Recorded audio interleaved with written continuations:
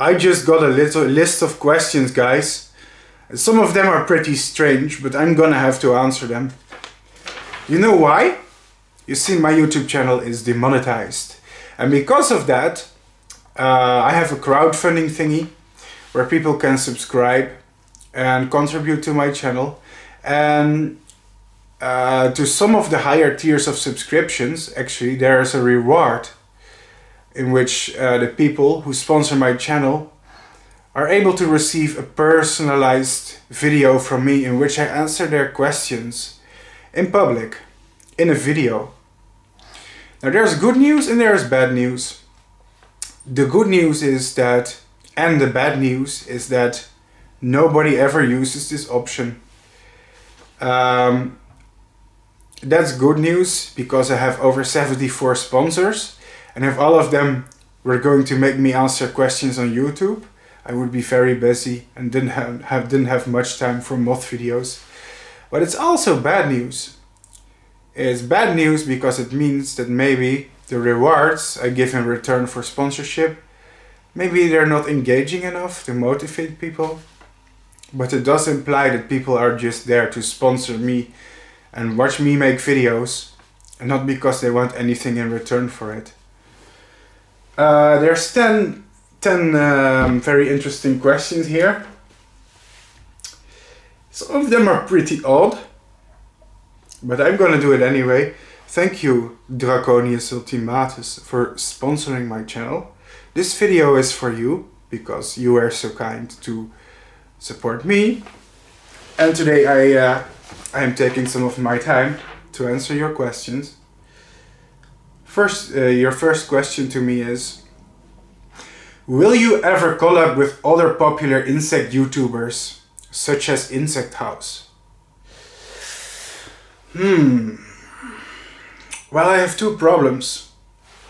Problem number one is my channel is kind of unique and there's not that many other channels to collaborate with.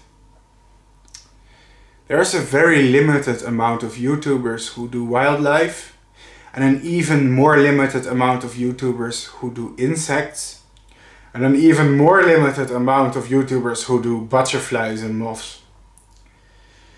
So that makes my options very limited. Now I can think of a few YouTubers who I could collaborate with or maybe YouTubers who make very unrelated content would be possible too. I mean, if you enjoy each, each other's personalities and content, sometimes you can also do collaborations. But there's also a second problem. I have a lot of animals at home that require a lot of care and attention. And because of that, it's not really possible for me to travel very far. Uh, when I travel, it's usually in winter because in winter I take a break from this hobby and then I have a few months for myself and then it's full-time breeding insects again. Um, therefore, the chances of any collaborations like that happening are small. Although, of course, I would be open to it if there were any in the area. But I, I don't see any collaborations happening anytime soon. That's actually not true. I do collaborations a lot, but not with other YouTubers. However, I have collaborations with museums, I have collaborations with scientists, entomologists, and uh, in fact I have a few down the pipeline because uh, I was actually planning uh, to do more interviews, to travel more. Um, I ask of your patience, give it a few months and uh, it could happen. But not with other YouTubers. No. Question number two. Are you ever planning on getting your own house or apartment?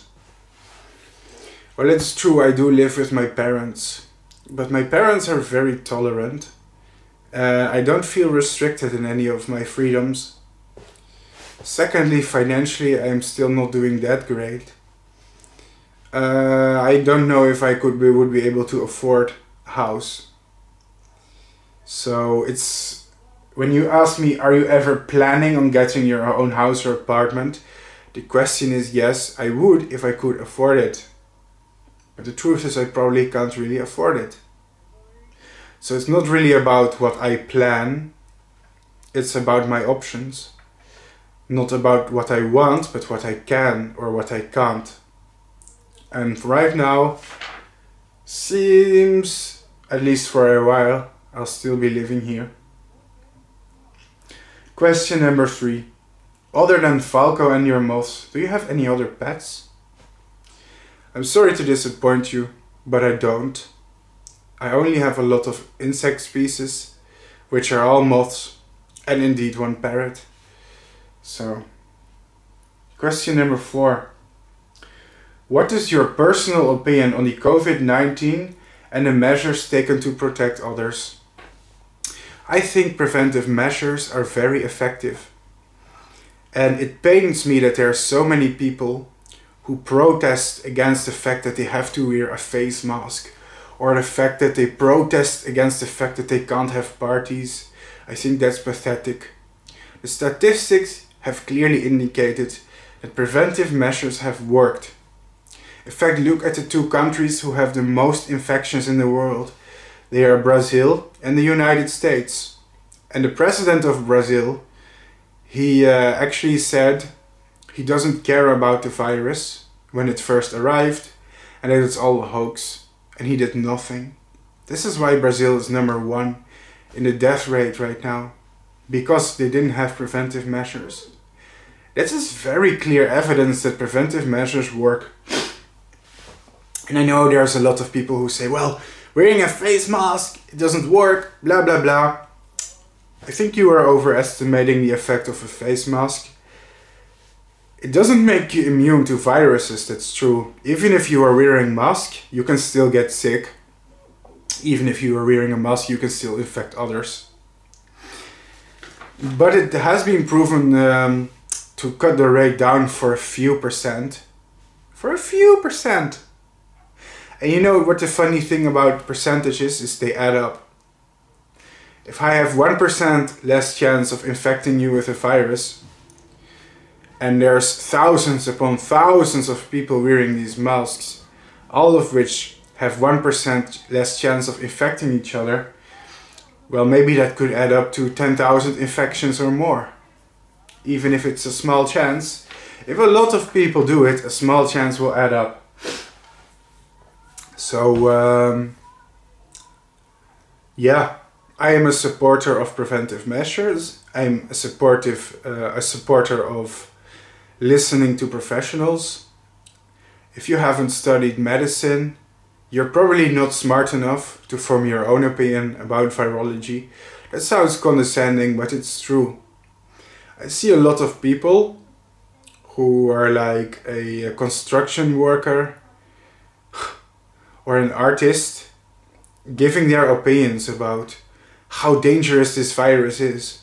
I'm sorry, but you haven't went to school, so you have no clue. That sounds arrogant, but you need to face reality, okay? Virology is very complex. And I think it's really stupid that the unwashed masses and the, the basically the cattle of our society, all of them have very heated opinions. Here's my advice to you. Shut up and listen to the professionals when it comes to a global pandemic. Otherwise, I've been doing pretty well, even in these dreadful times. Financially, I have been doing very badly. However, the uh, government is giving me now compensation. So I'm getting minimum wage for like seven months as compensation for the damage that the virus gave. Um, and because of that, I have a very long vacation right now. So despite that, uh, I'm having a good time now. First, uh, I was worried about finances, like how no, how, how am I gonna supposed to work during this crisis? But uh, the problem was solved, and now I'm relaxed. The next question is on average, how many Monster Energy drinks do you consume per week? Mm, that's an interesting question because, well, if you look at my channel, it becomes clear I drink a lot of this energy drink. In some of my videos you can see the cans in the background or I'm just drinking it during the video. I drink too much of it, it's not healthy. I don't want to promote it, it's not paid promotion. Energy drinks are very bad for your health. They contain ton of sugar. Um, I think I do have somewhat of an, almost somewhat of an addiction to them. It's my worst habit. Good news! I don't smoke. I barely drink. Uh, I ride my bike everywhere. Physically, I'm reasonably fit. I don't take any medicines at the moment. Ah, but the energy drink, that's that's my vice. That is my Achilles heel. And, and I think in one such a can there's like 300 calories. That's like a liquid hamburger. Uh, I also have problems sleeping often. I'm awake at night. And it's also because of, I think, my caffeine consumption. That being said, I try to limit my consumption to one or two cans per day. Um, but it's not about how many cans per day I drink. It is I drink it consistently every day, one or two, one or two every day. So uh, without a break. So per week it would be around six or seven. Oh, that's the doorbell. Did you hear that? It's not meant for me. So uh, it's my mom taking a package from the mailman. Now your next question is um, number six. What is the highest sum of money you have donated to an internet thought? I'm not sure what I have what, what, what to do with a term such as internet thought. I think you're referring to girls on the internet, Twitch streamers who have revealing clothes and um, are doing these streams who target lonely men and it motivates them to donate. I think it's a funny question. I'm not sure how to respond. Uh, personally, it's I look. I don't want to sound like an, a boomer who is like, "Oh no, that's morally wrong," and blah blah blah. You shouldn't be watching girls on the internet. Hey, if you're a female streamer, if you're a female YouTuber, and uh, you have sex appeal and you know how to exploit that, all power to you, man. By all means. Uh, please use it to your advantage. But uh, personally, uh, that kind of content does not really appeal to me. I think a lot of the people who donate to such such internet personalities are lonely men. And I do think it uh, it spreads a bad message in the sense that well, imagine you were you. I mean, I used to be very inexperienced with women. Thankfully, in the last few years, I become very uh, confident. So right now, it's not a problem. But when I was younger, I was very shy. I was very hard time approaching women and telling that I like, telling a girl that I like her. And uh, thankfully, I've grown out of that. But I know there's a lot of men who haven't grown out of this. And um, I think for them, it's not a good idea to to give girls money just to receive attention in return, you know? Because the moment that you have to pay someone, that you have to give somebody money just to get attention in return, it basically implies that you are not really worthy of any attention uh, unless unless you literally pay for it, right? God, what's this stupid noises here around me? Sorry, it's very distracting. There's a lot of construction work going on outside and uh, it pisses me off a little, I'm sorry. yes, but uh, what was it I was about to say? Uh, yes, when you like a girl, right? Boys of the internet, listen to me for a second. If you are attracted to a girl,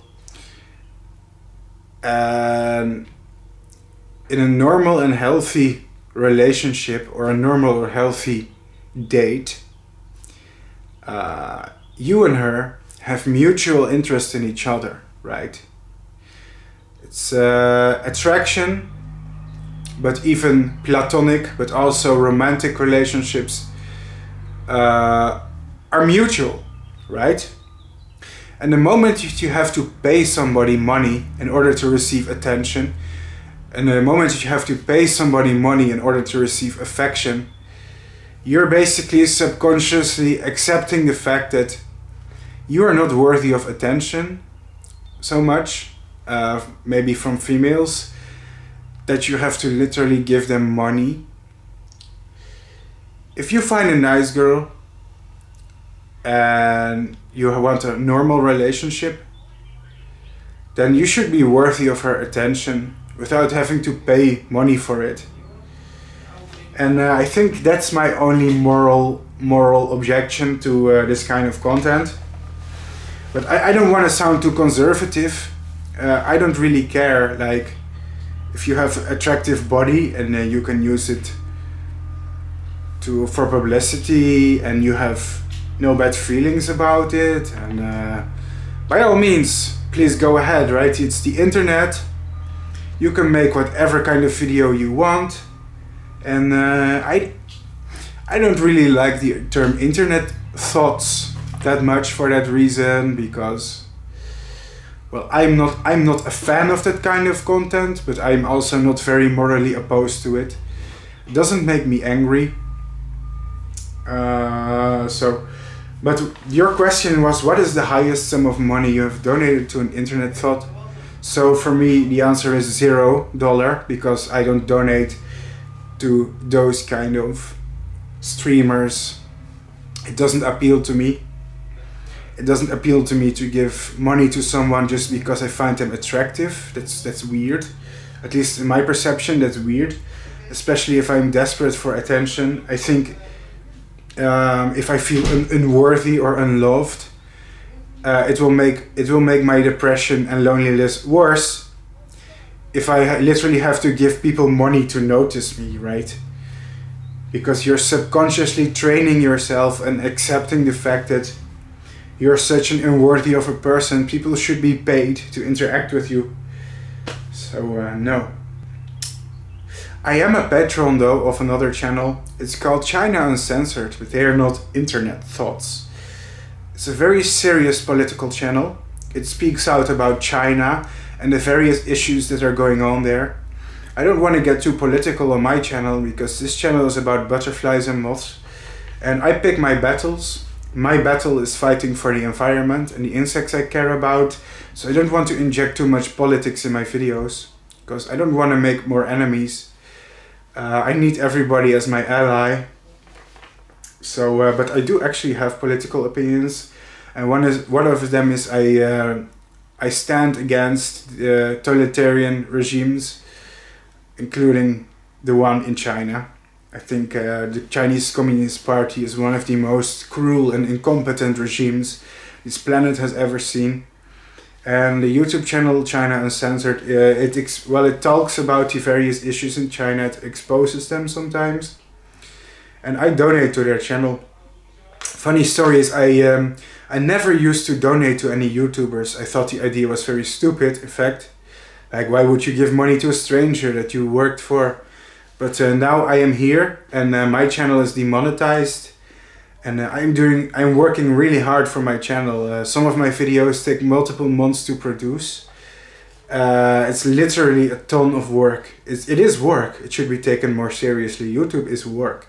For me, it's a lot of work and stress and time, and I get zero for it in return from YouTube because I'm demonetized, and uh, that made me consider quitting my YouTube channel. But uh, it's because of the donations of my sponsors, such as you they keep this YouTube channel alive and allow me to put so much time in it. And that made me reconsider my opinion about donations because I'm here benefiting from them.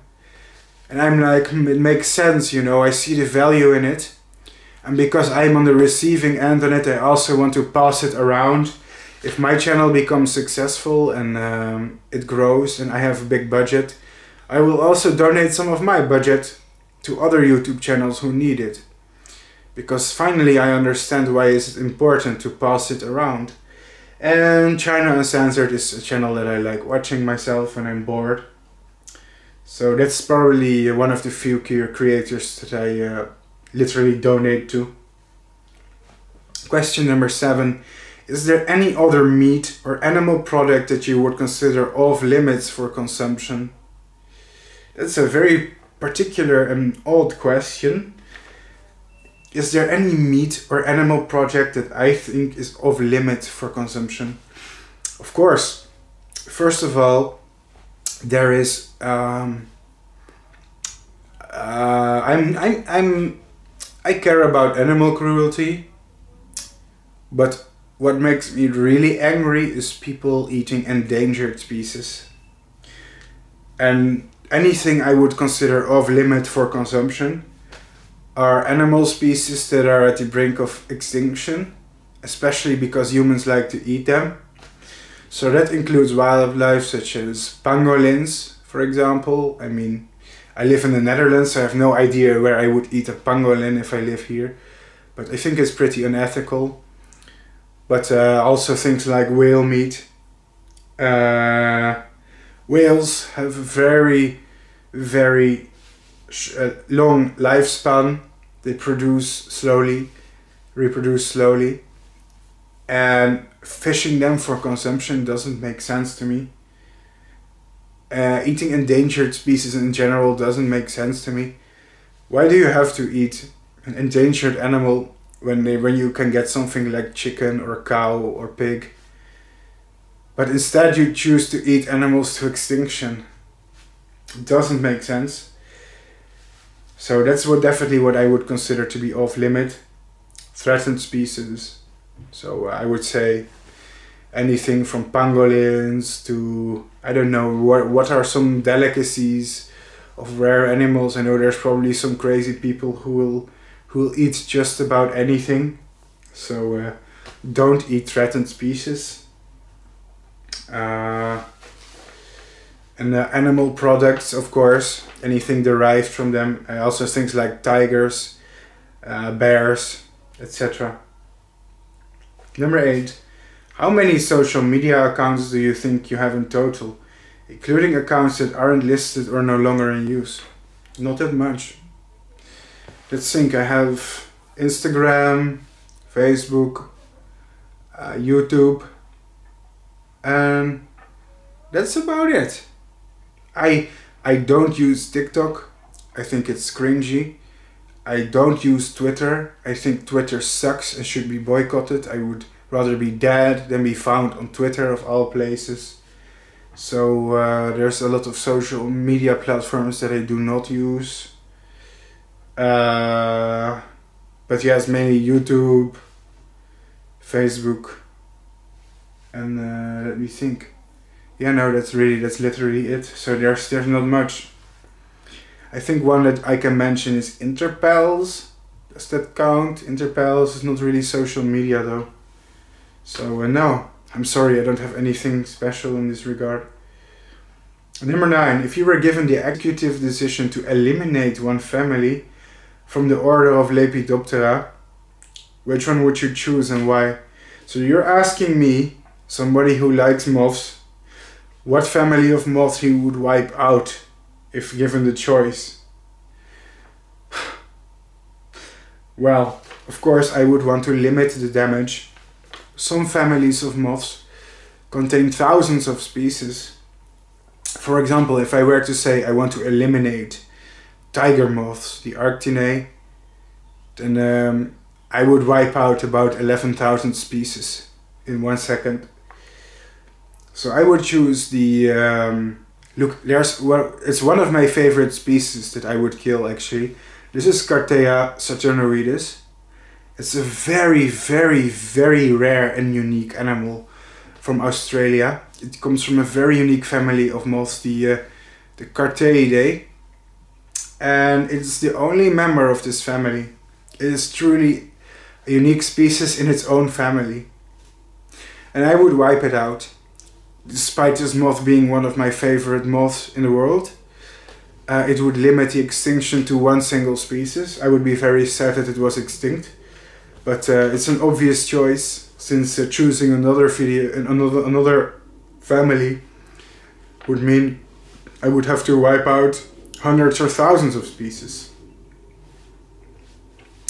Number 10. How many healthy moths or caterpillars have you dispatched of and disposed of in the garbage or compost? I don't know who gave you the memo that I throw healthy moths and caterpillars in the garbage or compost, but I don't. That sounds pretty psychotic. Now, I do dispose of sick individuals, I euthanize them, uh, especially when they are crippled or infected with a virus that could uh, infect my other species, then I dispose of them but you are asking me healthy individuals. Now, why in my right mind would I want to kill healthy individuals? I don't see a reason for it. Maybe by accident when you throw them away. There have been a few instances where I've accidentally threw some of my eggs in the garbage that I just ordered online. Yikes. But that's not really on purpose. So, uh, so the answer is none. I mean, I don't see any reason why I would do that, man, bro. Thank you for your list of questions. Uh, if you are a, one of my patrons in the higher tiers, then um, it's a good idea to check out Patreon and see if you are eligible for an FAQ, because some of you are, especially those who are like in the, uh, I think it's in the six or above ten dollar tiers. Um, you can actually send me a list of questions and get a personalized video from me like this one. But uh, turns out not not many people, even if they are still paying me, not not many people want to use the reward. That's fine though. Uh, if you don't want to, I'm not forcing you. But uh, I think it could be fun. It's a nice way to know my audience. Thank you for your sponsorship. I hope you enjoyed the video and my answers. Um, I'm working on a lot of moth videos behind the scenes. They take a little bit more time to complete, but it's gonna happen. Bye bye.